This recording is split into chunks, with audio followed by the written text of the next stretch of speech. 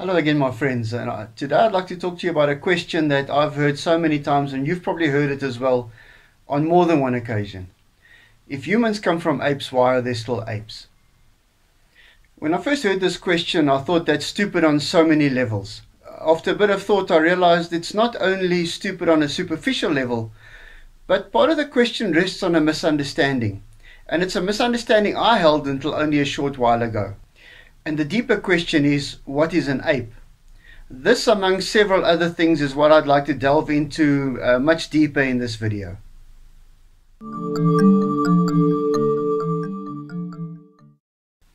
Whenever I get asked this question, and I do get asked this a lot, especially on uh, say Facebook threads and and and uh, debates of that type, my first reaction is always: if paper comes from trees, why are there still trees? Obviously when they made the paper, they didn't use all the trees. Um, if a snowman is made from snow, why is there still snow? Well, obviously they didn't use all the snow. Uh, recently, I heard a much improved version of this of this question. If man was made from dirt, why is there still dirt? Now, does this logic apply to our original question? What I mean here is when apes evolved into humans, did they did not all of them evolve? I thought this was a sufficient answer until I realized I didn't fully understand what an ape is. Let me start by stating clearly I'm no expert of any kind. I'm not an expert in biology, I'm not an expert in evolution.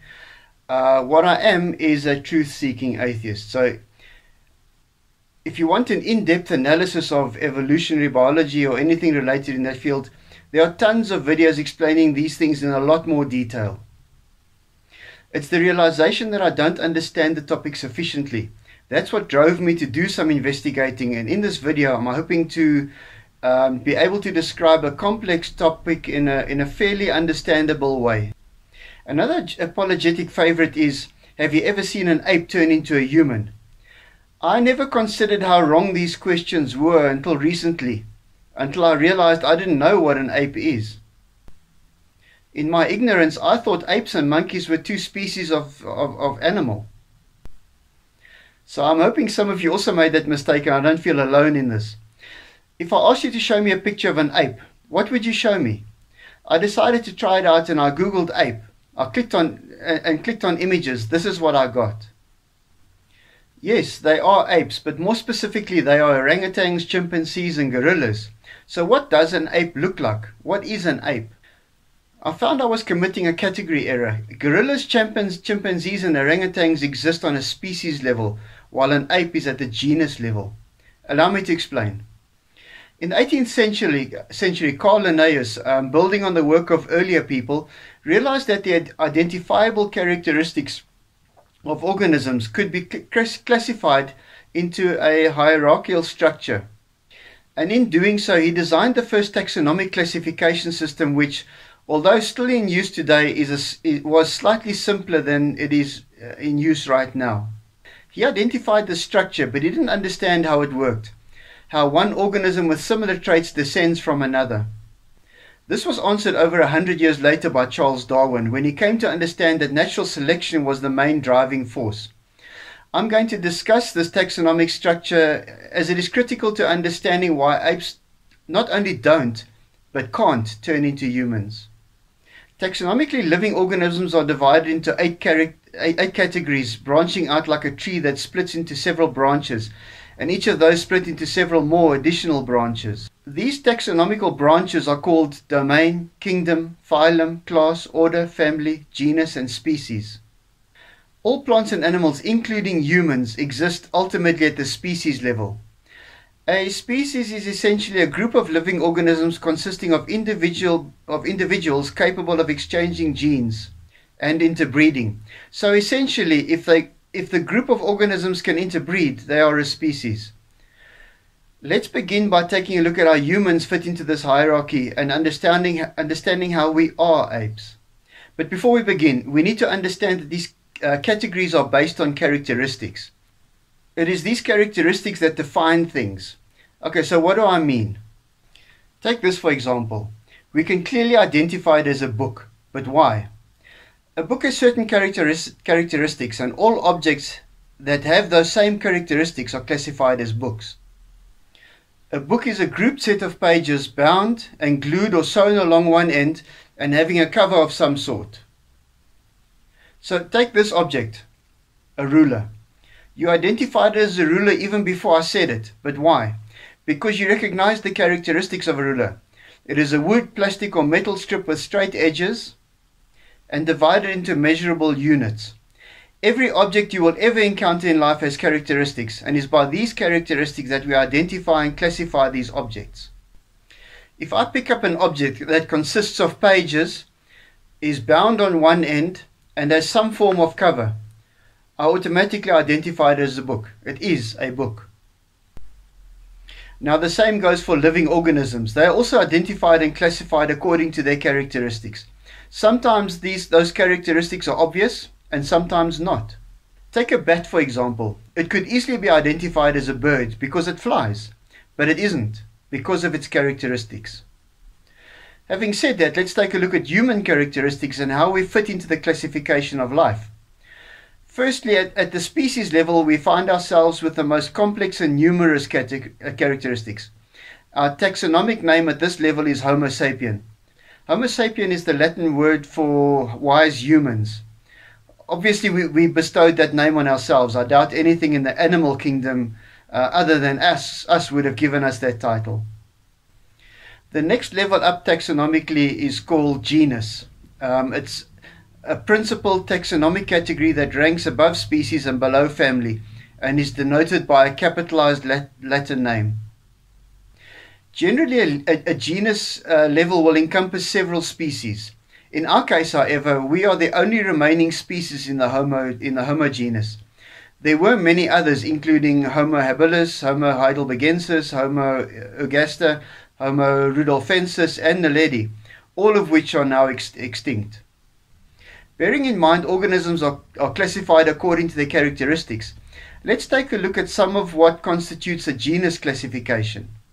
And bear in mind, here I'm speaking specifically about the genus Homo. Um, they have a large cranial capacity, limb structure for an erect posture, a bipedal gait, uh, the ability to make precision tools, and fully opposable thumbs. As humans, we have large skulls relative to other animals. We have the limb structure for an erect posture. We walk erect on two legs, are able to make precision tools, and have fully opposable thumbs. So clearly we are identified as Homo. The next rung on the on the taxonomical ladder is family, and at the family level, we are characteristic. We all characteristically fall under uh, Hominidae, uh, whose members are hominids or great apes. A hominid is defined as a primate of the family Hominidae, including all hominids, both extant and extinct, and their ancestors. Apes are divided into two groups: the great apes and the lesser apes. The great apes um, include gorillas, chimpanzees, orangutans, and humans. The lesser apes are the gibbons, who belong to a, to a different family entirely. The characteristics of the hominid, hominidae family include uh, hair instead of fur, fingernails instead of claws, uh, opposable thumbs, and padded fingers with fingerprints. Uh, once again, we fit neatly into the category that makes us apes at the family level, just as we fit into just as we fit into Homo um, or human at, at, at the genus level. The rest of the taxonomic levels I want to move through fairly quickly, uh, just to show how by characteristic we are each of those levels. And once again, by the taxonomic levels, I'm sp speaking specifically about um, the, the, the, the line that we come down from, uh, which eventually ended up as, as humans. After the family level, we find the order level, uh, namely primates, um, who, are character, who are characterized by arboreal adaptation, the ability to live in trees, bigger brains than their predecessors, a heightened sense of vision, opposable thumbs, um, shoulder flexibility, uh, flat nails um, as, as opposed to claws or hooves, uh, forward facing eyes. As you can see, we also neatly fit into that category.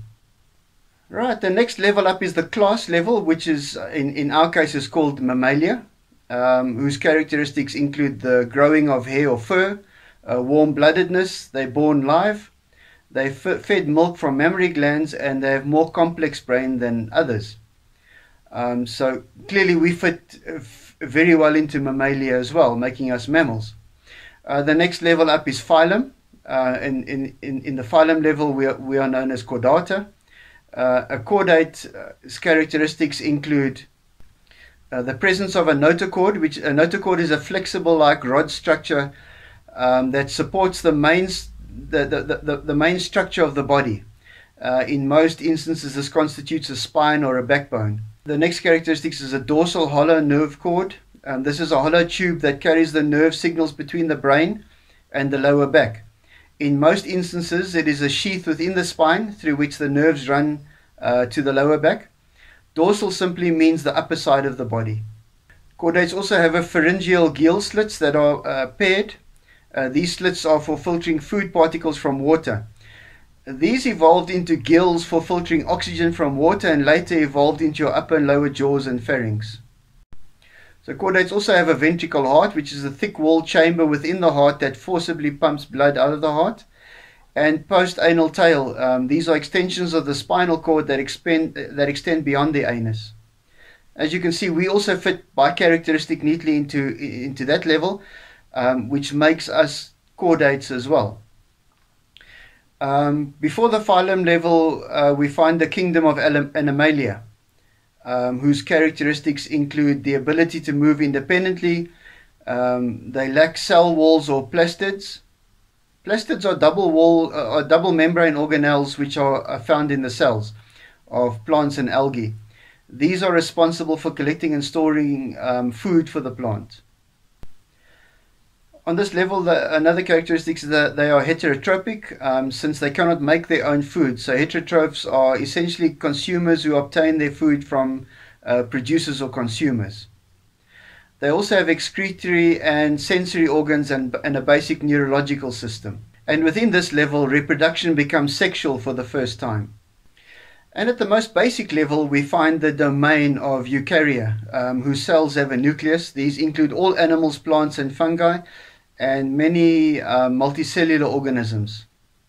So it's, it's simple to see how we fit into each of these levels by characteristic. So not only, not only are we human at the species level, we are also eukaryotes, animals, chordates, mammals, primates, and hominids. Remember, hominids are great apes by definition, and we are hominids, therefore we are apes please keep in mind, as I, as I, I read these different level characteristics in turn, they, they appear to be becoming more primitive, and that's because they are. I'm reading them from where we are now to our most primitive forms. Following these in reverse order to how I'm presenting them will show a gradual progression to our current state. Also note how, as we progress, we build on what we previously had. Nothing suddenly appears, it's a gradual evolution over a long period of time. I hope this has um, been able to, to, to, to hopefully clear up some, some issues you might have had about um, what apes are and, and, and how we have come from apes or not come from apes, as, as it turns out. Um, that we are apes. So the, the question, um, if humans come from apes, why they're still apes, is a bit nonsensical because we come from a common ancestor. Um, not us and apes. Um, we we are apes, so us and uh, and and our cousins, uh, orangutans, gorillas, um, chimpanzees, and, and our second cousins, the bonobos, come from a common ancestor that was also that they were all apes, um, but a much primitive, uh, a much more primitive form. And as you go back back over time, the form becomes more and more primitive. But it, every time these these levels come together in, in, into the previous taxonomic level, they um, they have another common ancestor, an earlier common ancestor, and these common ancestors work back and back uh, in, in time and, and, and in simplicity to more previous forms. So, in answer to the question, um, did we, if we evolved from apes, um, why are there still apes? We didn't. Thanks again for watching. Um, it, it was it was lovely to speak to you again please remember to, um, if, if nobody's heard of, of this channel or, or heard any of the videos, show them. Um, I, would be very grateful if you could pass it along. And uh, as always, keep well, be safe, and I'll speak to you again soon.